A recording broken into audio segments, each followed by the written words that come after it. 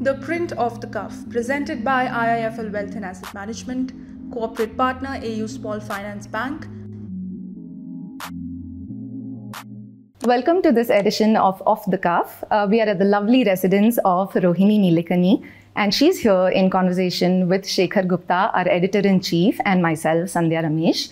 Rohini is an author, writer, and a philanthropist, and her new book, Samaj, Sarkar, and Bazaar, is out recently.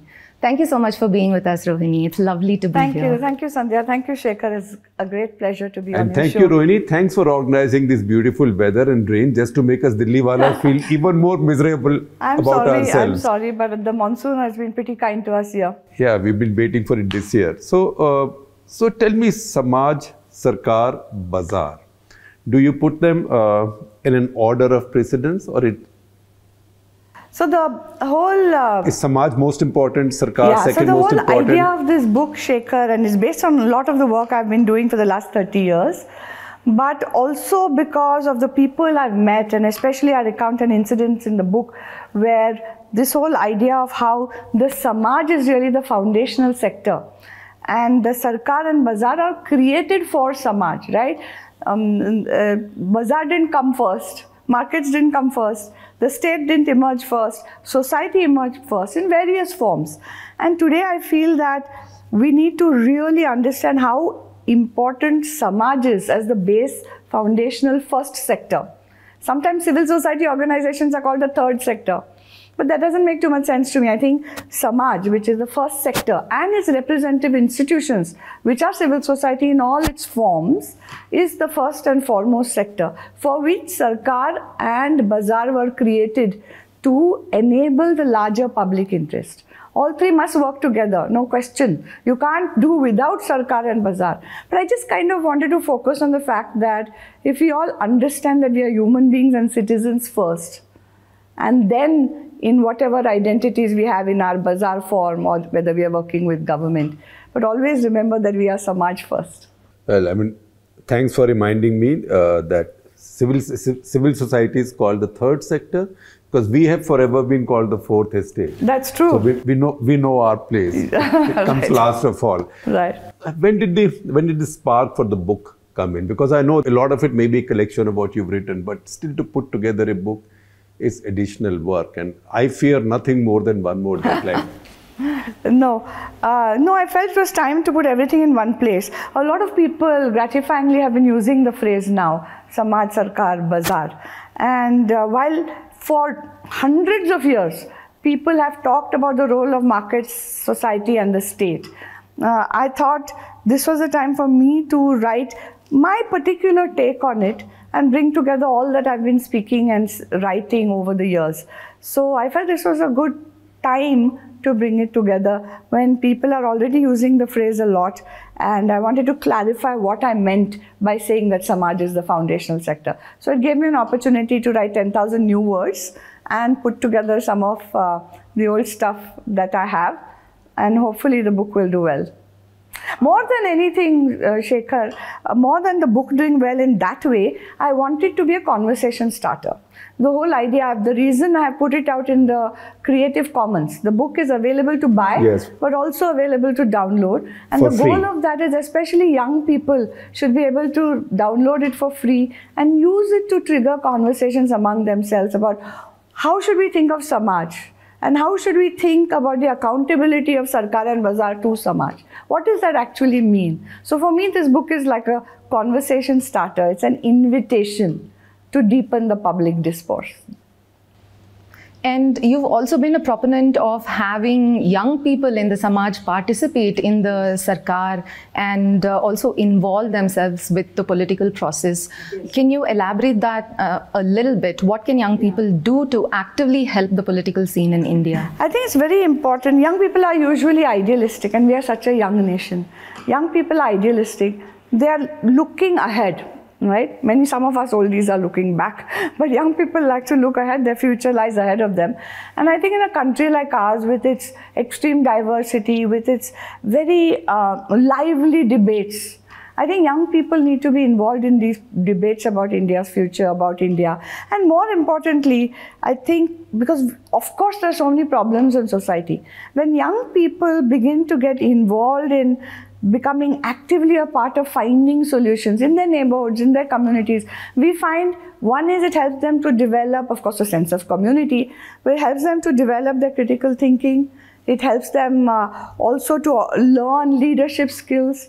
And also, I find when I talk to the many, many, many young people in the organizations we support through our philanthropies, they find a purpose in life. They feel there is more meaning than just uh, you know downloading whatever the latest thing is on social media. They say such things to us, and uh, they themselves get excited by the work they do. So I think young people being part of active citizenship is very important in a democracy like ours. So we try to support many organizations that gather local people, especially hyper local action to solve local problems.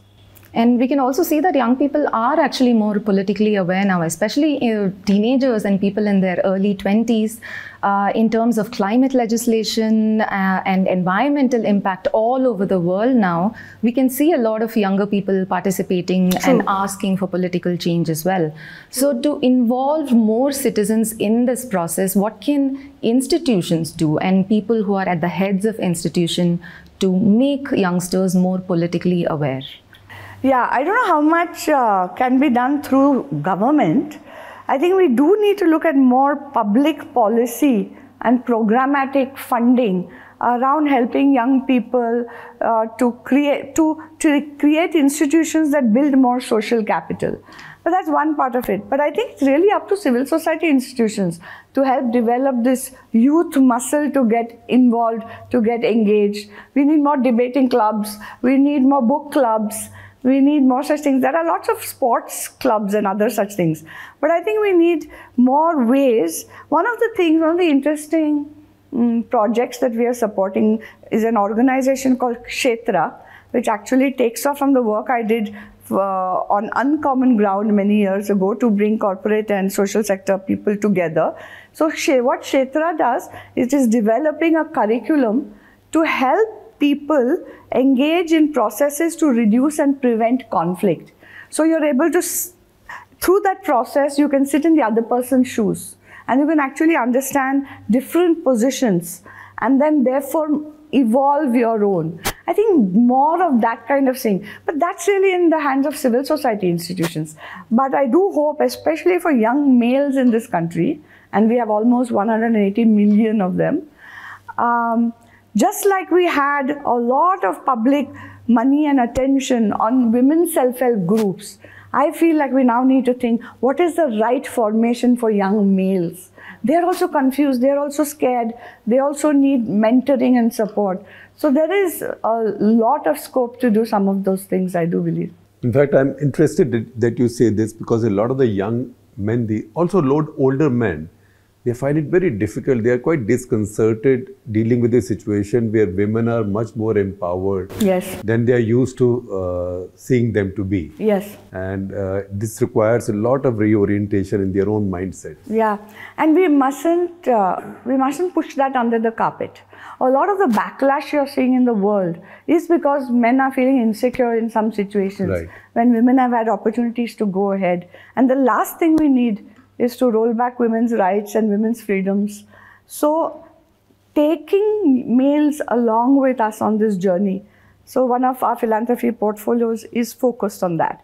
And uh, when we began, there was hardly one or two organizations working with young males. Today, there are 17 and growing. So, I think helping young males achieve their potential, be able to speak freely, to be able to speak safely, is also something that's very important when it comes to the youth of India. This is so counterintuitive. Uh, did you, uh, I mean, did you, like you said just a couple of minutes back, that to get someone to sit in the other's shoes, Yes. right, and see how how that feels. Did did you do that to yourself, or did you go through that experience experience before you figured that you had to think about men? Yeah, because uh, Shekhar, my earlier work, whether it was on water or education, there's a lot of focus on what was happening to girl child or, or women in villages who are trying to access water resources or have a voice in how this local budget should be spent. So there's a lot of gender focus on women. But as I was traveling around the country, I would often meet young males who, who were feeling left out, who had questions that could not be answered, who didn't know where to turn.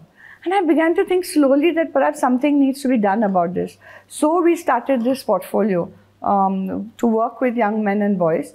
The idea being that you can't even get women's empowerment unless men themselves also feel empowered. And what does that mean? What, what is the gap we need to fill so that all genders can reach their potential? What should society be doing? See, I always come from the Samaj lens. What should, can Samaj do more of to help its own citizens, its own communities? And it's been a very interesting journey.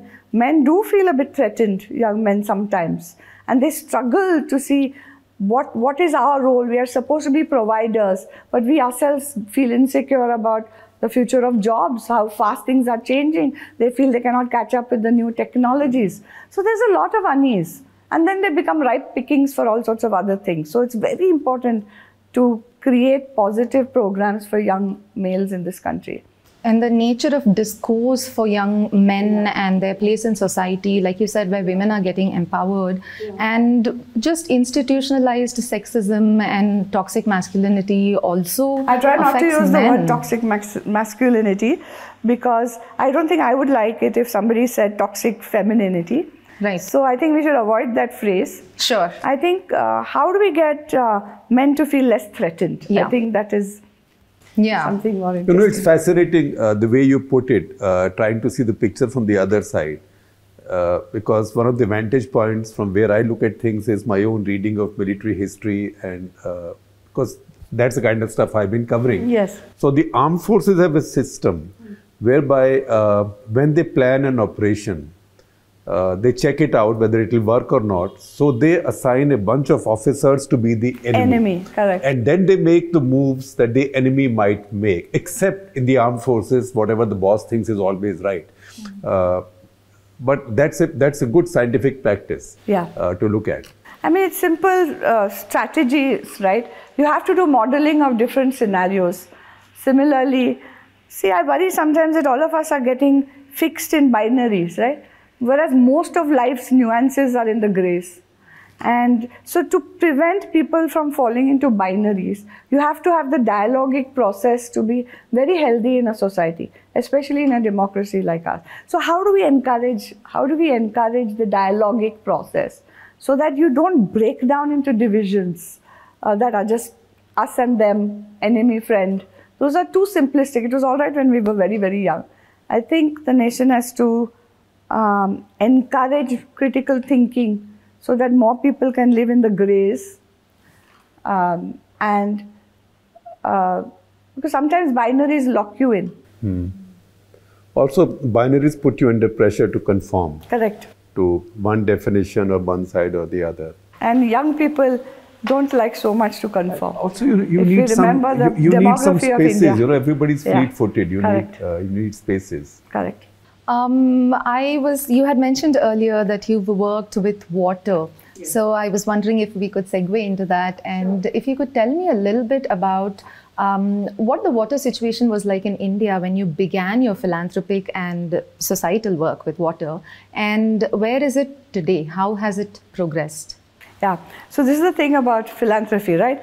You can't really solve any problems that way because these problems are so huge and complex.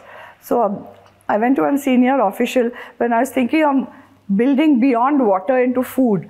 So he said, uh, uh, man I greatly respect, he said, खत्म पानी का सब सब solve कर दिया तुम लोगों ने आप दूसरा कुछ ढूंढ रहे हो I said no sir it's not like that but you can work parallelly on many things because everything is connected food and water are so connected no but so the, to answer your question when I came into water in 2005 we had just begun to see how water as a key resource was going to affect everything in India the economy, the ecology, and of course, people's health. So we started working on this. I was there for about 16 years after we started working in water. I just retired from Arghyam, uh, which was the foundation I set up for water. But I think India knows its hydrological issues much better, and there is very good policy. Now, as usually, it's everything comes down to implementation. I would say the government has made several strides. Successive governments have made significant strides on providing better drinking water, better sanitation. Uh, we still have huge problems, though, that are going to be climate change related, for which there are no easy answers.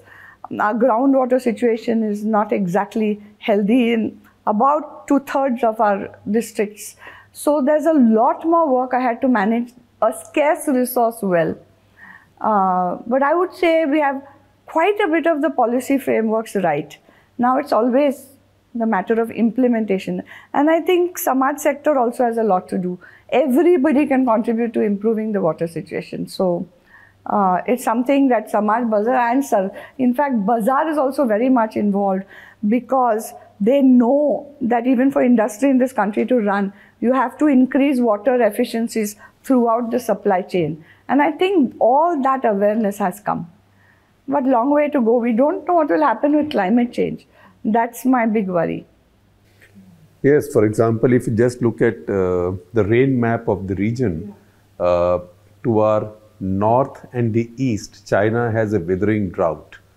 In a large landmass, Yangtze, the Yangtze, Yang, have you Yangtze seen the dry, pictures of the Yangtze? It's gone dry. Uh, pre-Christ uh, uh, sculptures, Buddhist sculptures are coming out rising now. up. They, they are rising up. And at the same time, to our west, Pakistan has 700, Seven. some parts of it has, have, have 700% more rain this year. Yeah, just a In severe fact, floods. You see, if you see satellite pictures of Pakistan, it looks like there's a giant lake in the middle of Pakistan. There has been a new inland and, and, water body. And India has such uneven rain this year. So, so this is beginning to hurt everybody. It is. And therefore, it's very hard for farmers to predict. It's very hard to plan ahead for your crops. Um, and uh, because farmers are essentially entrepreneurs, it really makes their life much more difficult to adjust for climate variance. And uh, so, again, a lot of public policy support is needed. And also, uh, Shekhar, often I've been saying, I think that, I don't know if that article is included in the book, but we are going to have to model for climate change in any kind of policy formulation going forward, in the design of public infrastructure going forward. Today, would you take a decision for a coastal road in Mumbai, knowing what you know about what's happening to the sea rise? So, planning for that is going to be something very critical for experts to get involved. Yeah, because the thing about climate change is that no matter what you do, it's not going to get better. It may get less worse. Yes. But it's not going to get because better. Because it's already started. Yeah. The process yeah. has started. Yeah. So you're just trying to slow it down. Yeah.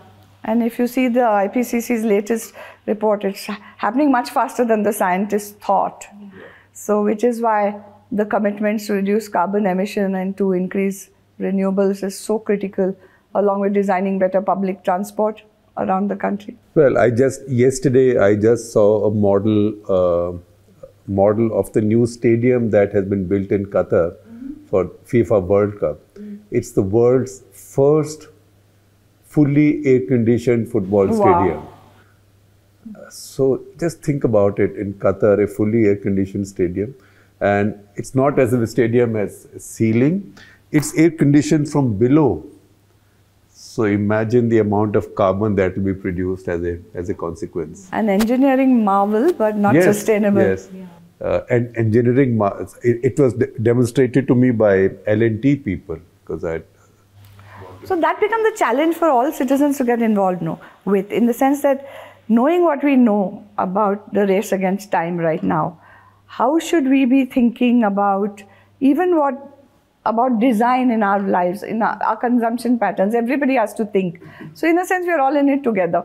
Yeah even our personal choices in terms of, for example, future real estate and things like that we might invest in, we have to be aware of the climate repercussions, which is not an industry wide practice right Correct. now, right away. Yeah. I mean, our coastal areas are going to be so vulnerable. Yeah. With so much of our population in the coastal areas of India and then the Gangetic Plain, where again we have so much population.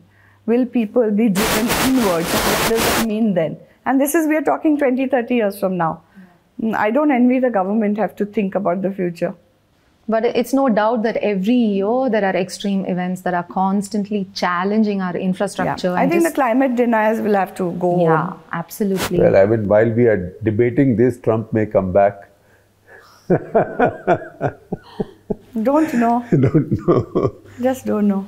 So public, uh, public debate. Uh, you've written this book because you want this to become center stage in public debate, and these, these are things because we also work on the principle of out of sight, out of mind. Uh, how much does public debate contribute to shaping of policy, particularly in today's kind of situation where uh, democracies have strongman governments? Where usually thinking comes from one leader, and it's not just India; it's India, it's I mean, okay, Russia is a bad, Russia and China are bad examples, but America until under Trump, Erdogan, uh, Israel under Netanyahu, you have Bolsonaro in Brazil. These are uh, Brazil, even more than India, is a very sensitive climate hotspot. So, in these situations, and given this strongman uh, power structures, how much does public debate matter? More than ever. As the world is turning more authoritarian, we have to ask why, right? Is it people, people may be feeling that, you know, I don't, I'm fed up of this participating in everything all the time and let me just, you know, uh, sort of abandon or um, uh, trust in somebody, trust in a strong leader to solve my problems. But all through history, we have seen it doesn't happen that way. Nobody, as I say many times in the book, you simply cannot outsource good governance only to government.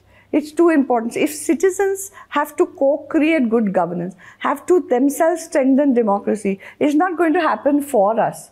If we don't participate, we lose ground.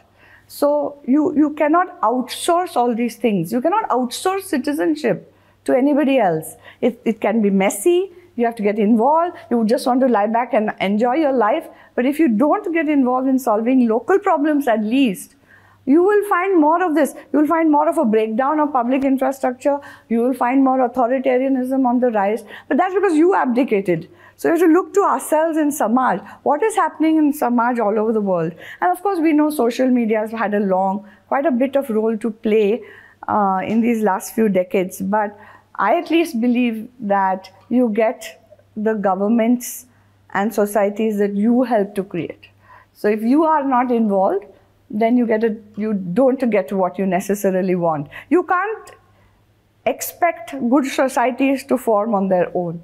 Everybody has a role to play. Not everybody has to work all the time for it, but at least to some extent being aware of what's going on around you. You can't abdicate this question at all. And so it's more important than ever to get young people to ask these questions. What kind of a society do I want to live in? What is my role to create the kind of society that I want to live in? How much am I willing to give up everything to a government to do? How much can government do for citizens if citizens don't do for themselves? These questions have to be alive in the public discourse. And now more than ever, now more than ever. Um, as a philanthropist, you've contributed to so many causes. Are you hopeful that in a few years, maybe a few decades, we would eventually get to a place where citizens would not need philanthropy? Yeah, I mean, I'd love that to happen because, as uh, Martin Luther King's quote, which um, I don't know the exact quote, but you should never forget why philanthropy is needed in the first place and what what caused this imbalance to come so that there is concentrated wealth in the hands of a few and then they have to do all this philanthropy um, to, to correct for what uh, should be going better in society. Um, so I think uh, philanthropy is critical and important, um, but and I don't think there'll ever not be a need for philanthropy because after all, philanthropy, what is philanthropy? It means people being interested in the welfare of other people. That's really what philanthropy is. Now, because of the hyper wealthy that have come around the world, philanthropy has become something like really big where people like Bill Gates have to spend $5 billion a year on philanthropy. So, um, philanthropy will have to always exist, but philanthropy is not only that of the super rich. Ordinary people can also do philanthropy, and they do routinely in India. So, there may never be a time where humans empathy will not be needed and human resources for other humans will not be needed. But I do hope there would be less of a need for intensive philanthropy to do what society should have done anyway. That, that's really nice. Less wealth disparity and more Well, uh, empathy. I'd Yes. rather that there is inequality of wealth and some people have a lot of wealth than the government having that, the state having all the wealth. Well, I think taxation is an important tool Yeah, but the state to can't have it all. redistribute. Yeah. No, I agree that private wealth creates, I mean, societies tolerate private wealth creation because they assume that that wealth creation will spur innovation, Right. create jobs, that that wealth creation will also help create better societies, right? It, societies will tolerate runaway wealth creation only so long as that wealth appears to be working for society. The private wealth, so long as it is seen to be working for society, it will be tolerated. Otherwise, the government will swoop in and tax it all up. Let me ask this one. So this is uh, Colonel K.L. Vishwanathan, who's one of our subscribers, and he's a, he's a prolific uh, guest on this show. He says in the introduction to your book, you have a quote: "Countrymen to rise above self-interest and, and reciprocity." In my preteen days, late 1950s, there was a custom in our village in North Malabar where the father of the would-be bride gave a tea party to the village in just with just a cup of tea and one snack was served. Where, where just a cup of tea and one snack was served. The occasion was to facilitate villagers to attend the party and contribute contribute their uh, contribute their might towards the wedding expenses, all on a reciprocal basis. Would you say our Samaj knows and adapts or has adapted to a great extent? And have you concluded that Sarkar and Bazaar are integrating? Um, to the first point, I think that example is beautiful. And in the book, I mentioned what Anupam Mishra, um, uh, who did a lot uh, of work in water, yeah. uh, used to tell us about that. There's a uh, pratha, there's a tradition, in, there still is actually in Rajasthan villages, where people go to other villages to help work on public water projects. So the whole, all the surrounding villages go for the day to this other villages and do Shramadan to create public water resources. It might be digging a well or a farm pond or whatever, repairing a bund or whatever that may be. It is pre-decided and in return the villagers make them a nice meal. The original village in which the work is going on makes them a nice meal. Fun is had by all and everyone feels good and a public infra gets created. And then the same thing is repeated across others. So this kind of reciprocity in Samaj, which is really trust-based social capital is absolutely critical and we see it in many forms if you travel around the country and uh, so that's very important to the second question about whether samaj sarkar and bazaar are integrating i think we saw the best example of it during the pandemic. Lots more will have to be done when other disasters come along, as unfortunately they will. But we saw how quickly Samaj, of course, responded very fast and very quickly. First responders were neighbors, families, um, civil society organizations. State came in pretty quickly after that. And as we know, the bazaar, especially in India, with Serum Institute, etc., was able to act very quickly to get our whole vaccine delivery going. So we saw very rapid action. And I am hoping that that experience will allow to, us to be much better prepared because those little bit more of trust has been built. And when the next time comes around we should be able to organize a bit more efficiently and faster. So i thought that was one of the best examples we saw of the quick integration. I mean, just in two years, imagine how many things happened that had not happened before of Sarkar Bazaar coming together, Bazaar uh, Samaj coming together, and so on and so forth. All of us know millions of examples. Look at our vaccine compliance. Yeah. It's so that's where Samaj comes in. Yes. It's- They quickly got the message that what's good for me is good for all of us. And what's good for all of us, I have to do. Right? We didn't see so much vaccine resistance as we have seen in other parts of the world. So, yeah, yeah, yeah. Um, I, I want to club two questions that our viewers have about education. Uh, Kaushik Shivasubramaniam from Reach to Teach asks How do you and your foundation look at technology to improve education? Is it an enabler or could it be a solution that delivers quality education by itself? And as a supplement to that, Dr. Vasanti Vasudev from Osmosis Learning asks What, in your opinion, is an effective hybrid model for classroom teaching, especially befitting rural India, that would leverage technology aided technology aided learning without marginalizing the role of the teacher? Okay, uh, let me the second one first. So for, or let me answer the first one first. At EkStep Foundation, which uh, Shankar Maruvada, Nandan Nilekani, and I formed uh, five, seven years ago now, uh, we uh, we set ourselves the goal of increased access to learning opportunities for 200 million children by 2022, which is this year. And I think we have kind of been able to achieve that because we were lucky that we were able to work closely with the union government and then 28 other states uh, to help launch the Diksha platform of the government to a, which is a digital platform for parents, teachers, children, but mainly teachers to help each other learn how to more effectively deliver their uh, teaching across the classroom and across the school. And it has been quite a success. And luckily, it was ready just in time for the pandemic. So that leads into the next question because we saw the uptake rise so rapidly. There were billions, not millions, billions of learning sessions on the Diksha platform and has steadied at some number like 1 billion or something now. I don't have the exact data.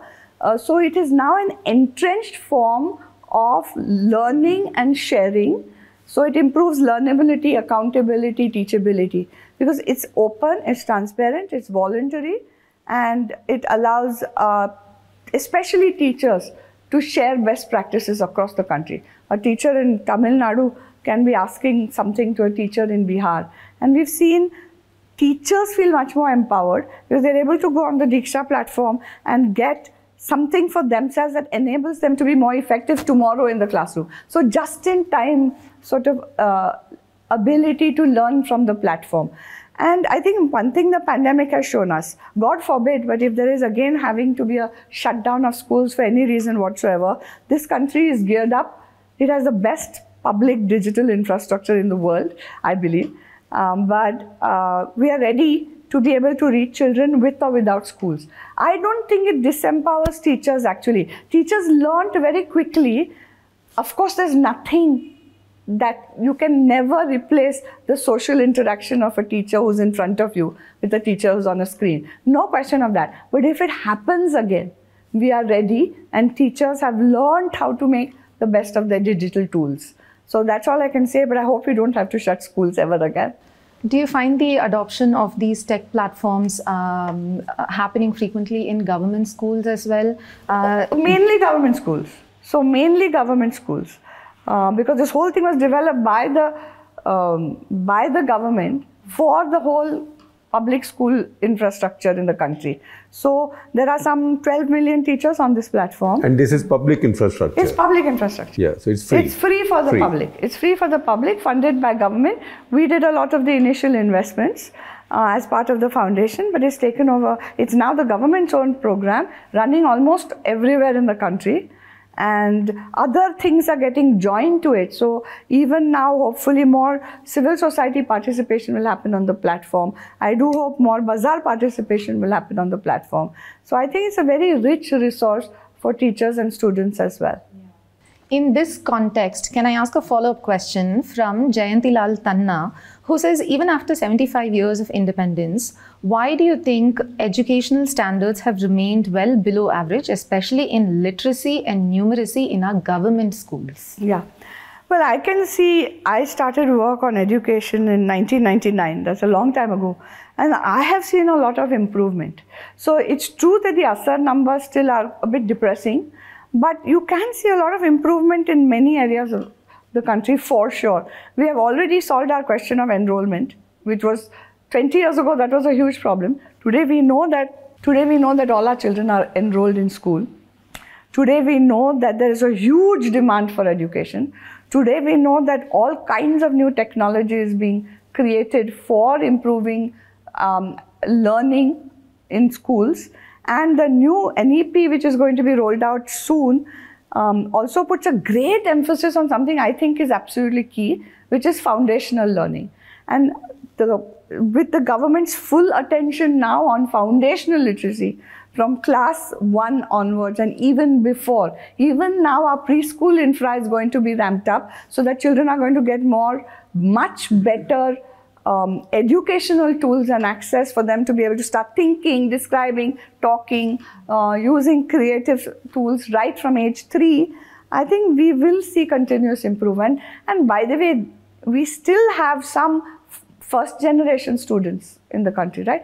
Millions of first generation. I think one more generation, you will begin to see a huge difference. Already, if you look at some of the ASER numbers, most children's parents now have studied at least to class 5, Within in 15, 20 years is a huge shift. And you'll only see that get better. Now, this generation is educated. So their children are going to be able to have a much better learning environment, not just in school, but also at home. So I am very optimistic on this. A lot of thanks to smartphone permeation. Sorry? A lot of thanks to smartphones permeation as well. Yeah, this. there's a lot of smartphone permeation. There are a lot of NGOs that are supporting parents also to help teach their children better. So we will see the gradual but definite improvement in learning outcomes. I'm very sure of it. These are the 10, 15 years in which we are going to see the big leap. So Padmakshi K, uh, who wants, she said she's read your book uh, fully. Uh, and she's asking, can people's participate lead to peaceful coexistence with different sections of people in times of polarization in our society today? I certainly hope so. Um, uh, मुझे बहुत बार लगता है these are questions that Samaj has to resolve. The government cannot resolve uh, issues of communal tension. Who has to resolve them? We have to resolve them as communities. We have to be able to see how interconnected not just all the people in India are, but the people all over the world are. And just two years ago, we learned that very, very closely. That if a grandmother in one part of the world sneezes, a grandson somewhere else can catch a cold. We know that now, literally. And so, as human beings try to evolve to become better and better, I think no matter what the current waves look like, I think at the below that, I think there is a great human capacity for empathy and coexistence. And we have to tap into that. And to do that, Samaj section, moral leadership of the Samaj only has to come forward. When there were riots in Mumbai or other places, Bhiwandi, so it was the elders who came together, created Mohalla committees, started a peace building process. I think that's absolutely critical today. And I think Samaj only has to take the lead. You know, these days, because we've not been holding public sessions with off the cuff, usually we'll do it with an audience. Right, that's right. So it's only now that we are growing out of Zoom at least. I find so we get a lot of questions from our subscribers That's and very our good that they're so engaged. But I find that the quality of questions for this one is of a much higher order uh, than the questions we get when we get people who might be talking about war in Ukraine, hard politics, money, stuff like that. So that says that uh, that tells us that your your book has struck a chord. So Sandeep Dutt, who's from My Good School, I presume he runs a school. How do we explain philanthropy to young people at school so that they look at life full of serving and giving? For, look at life full of. Full of serving and giving. Okay. Um, good. Uh, yeah, I think children very early on uh, need to be shown examples of uh, human moral leadership and generosity. And I think uh, uh, those stories have to be told from family to family. Who, for example, in my family, my grandfather's role in our uh, was held up as something worthy of emulating. He was a lawyer, but apparently he, he the reason he didn't make any money he was very busy patching up the two parties instead of taking them to court. So he and his brother used to be called ram lakshman in those days in the belgaum district.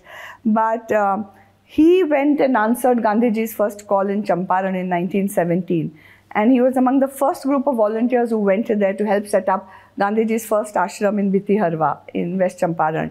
And he continued lifelong to serve the cause of freedom and so, so, the independence movement, working closely with the Indian National Congress at that time. And uh, his life, simple thing, living, high thinking, working for a cause, service before self, those are the stories told in our families. And if all families could do that to their children, children get easily inspired. How, how could teachers do that in schools? I think they have to go beyond textbooks to bring out stories. Maybe ask the children in the classroom to come with stories of their families. That's always the deepest and quickest connection that teachers can make. So, and there are so many heroes. There are the Tatas, there are the Birlas, there are so many worthy philanthropists that this country has spawned in the last 200 years. We have to keep those stories alive. Because also explaining to children about the neuroscience of giving, you know, there's genuinely a joy to giving. We are wired for that. We are wired to get joy from giving and doing something, going outside of ourselves to do something for other people. It makes us also happy. So eventually, giving is actually receiving, right? And that is also a gift. So I think children get inspired easily by such stories, don't they?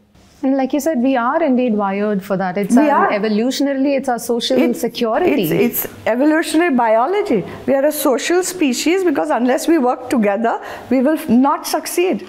We are wired to cooperate. We are wired for empathy. We are wired to feel joy in giving. Um, you are on the board for a three as well. Um, I wanted to ask you, can you walk us through a little bit about environmental and ecological research in India and the blind spots and gaps in data? Where are some places that you think uh, we need immediate research and data? Um, that's a large question, but I think, uh, like ATREE has done for 25 years, we need long term observation. One thing is what's happening in yearly annual cycles, and there are enough some sensors, and we get some indication of that, but we need a lot of institutions, research institutions, to have the resources and the permissions. Because nowadays, even permissions are becoming a little tough. To be able to go into our wild areas, to set up long term monitoring stations. Today, we have the National Biodiversity Mission, for example, which is, I think, going to be very critical to catalog our biodiversity and to understand what is changing in our biodiversity map. We need many more such things. We need many more environmental research institutions to spring up so that one thing is we know what is the absolute national treasures of biodiversity that we have in this country. One of the few countries in the world which has so much population pressure, and yet, because of our 5,000 year perhaps civilizational culture of respecting nature, we have also among the highest biodiversity on the planet. We need to preserve that, not just because it looks beautiful, but because it is the future resource for this country in everything for medicines, for precious materials, for carbon sequestration. When we think of the hundred reasons why we need to understand and preserve our biodiversity, we need a lot more monitoring stations and the ability for more researchers to go into various wild areas of the country to really understand what is going on. And that's going to be our bulwark against climate change as well, to understand what is happening and to be able to prevent some of the worst parts of it. Um, we have a couple of questions about corporate social responsibility. Um, uh, Colonel Achal Sridharan, I hope I'm pronouncing the name right, from Kovai Care says um, CSR should actually be citizen social responsibility. Corporates give money through CSR for their philanthropy and social commitment. One of the areas that needs a lot of attention is elder living and care, which unfortunately remains quite neglected. So he says we see CSR money for education, women's welfare, environment, etc. While social value investing is a must for corporates to survive, why do we not see contributions for elder living and care? I think some people are beginning to set up NGOs, especially targeting um, the elderly, because as we know, in another 40, 50 years, we are going to be an old nation. Right now, we are worrying about the population explosion, but we are going to be an old nation with all the attendant issues, right? We've seen See what's happening happening in China, and they are And they are Japan. they are struggling in China with five and a half times of our per capita GDP. Yes. And so can you imagine when, you know, who's going to make the social payments required for an elderly nation? So I, I think uh, this person is absolutely right. We need a lot more Samaj institutions that are focused on improving the lives of the elderly and keeping them active in the Samaj. Um, so lot more work on that, lot more work on that. A couple of questions from our colleagues. Uh, I know that your time is, I'm committed to many things. Uh, Maithili Hazarika, uh, she's from Assam. Uh, in what ways can a civil society strive when there are frequent instances of crackdown by the government? Yeah, unfortunately, there is a breakdown of trust between the state and civil society actors. And I really wish there wasn't because a strong state really needs a strong civil society and a diverse civil society because the state cannot reach the first mile. No state, however efficient, can reach the first mile where the real problem is, where people are suffering for various reasons. Um, so it is civil society institutions that are most likely to understand what are the gaps that need to be filled so that the persons who at the first mile can be helped. And any strong state really needs the participation of civil society to go with it. So I wish that both sides would do whatever it takes to build more trust. I think um, we have an extraordinarily diverse and vibrant civil society. They are facing some challenges. For example, FCRA regulations are, um, and many countries are now saying about foreign money coming in. But that's a separate thing. Just among our civil society um, organizations, I wish we could find a way to build better bridges with the state, both at the local level and at the center. I think it's needed because civil society is needed to provide a mirror to what to governments and to societies as well and to the corporate sector as well. Um, because then it allows for healthy self-correction and it allows for healthy preventive correction. So because I belong to civil society, I wish we could find ways to build many more bridges of trust for which we need transparency on both sides. Sukriti Vats, who's one of our youngest colleagues, uh, she says, uh, You say in your book, throughout history, we have seen society take law in their own hands, which results in which resulted in vigilantism and violence. Uh, what do you think is causing societal breakdown? We, because we've seen a lot more of it lately. Why are citizens, instead of fighting for proper amenities or better, better facilities, are fighting each other? Yeah, I mean, sometimes it's very easy through social media, etc., to create all these polarizations. It serves some people, but it doesn't serve Samaj well at all. And I believe, I really believe that people have got fed up of these polarizations. They're fed up with this uh, us versus them kind of culture, and I think it's we're at peak polar, polarization. I think from now on it has to come down. It can't get worse than this. So I think, again, that's what I say. This is not something that we just write about or read about. Each one of us can do something about it, right? In our own families, we have seen everybody argue with everybody else because some people on this side, some people on the other side. That's what I'm talking about. How do we build the societal muscle for dialogue? That is the key thing needed today. How do we practice in small, small doses? Tonight at the dinner table, uh, you know, can I talk to a family member who thinks differently from me without getting all hot and bothered and judgmental? Um, that is the new sanskar that we have to develop in, in, in today's democracies. Because otherwise, all of us are shrinking. We are shrinking into narrower and narrower selves. That's not rich, that's not rich living that is poor living. So a lot of people are engaged with this idea how do you reduce the binaries? How do you reduce the polarization? I think we're at peak polarization and it's going to get better. And she has another question which is a very different question very different on a very different track.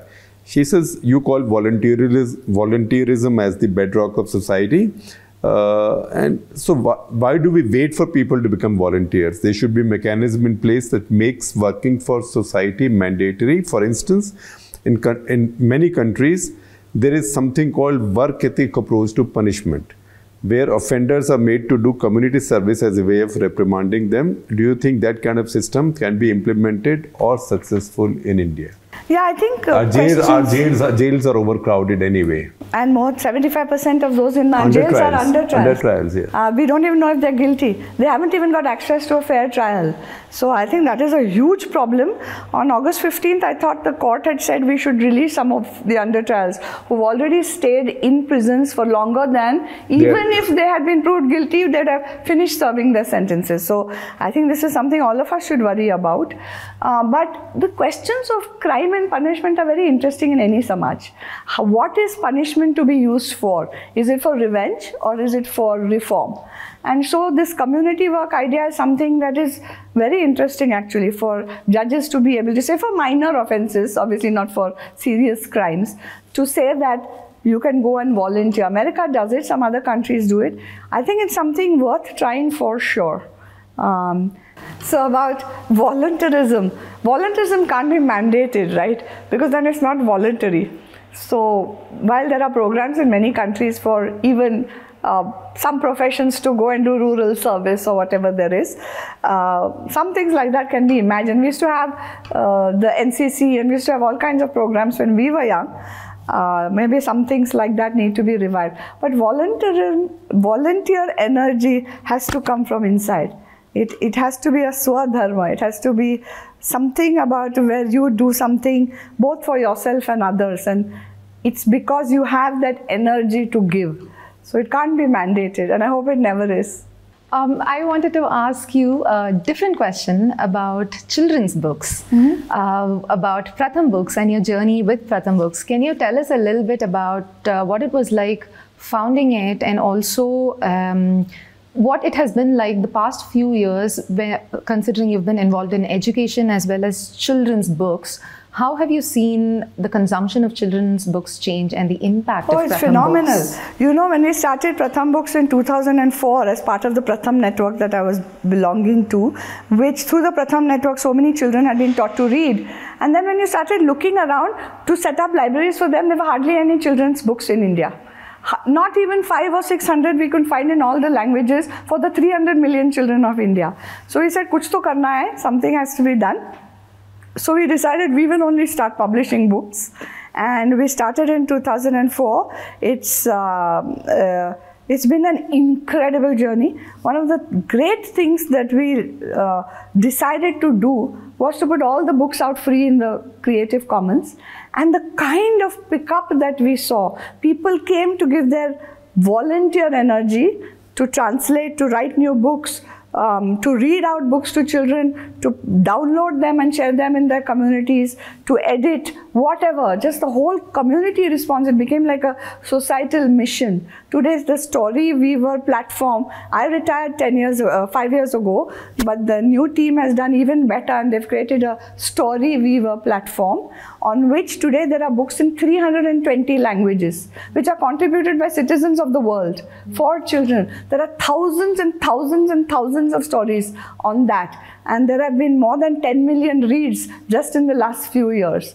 And we know that even the books of Pratham books are selling. So we have helped to change the paradigm of children's publishing in India. And that's the power of bringing Samaj Sarkar and Bazaar together, by the way. Because the Samaj came in, as I told you, to write, read, and as Pratham books.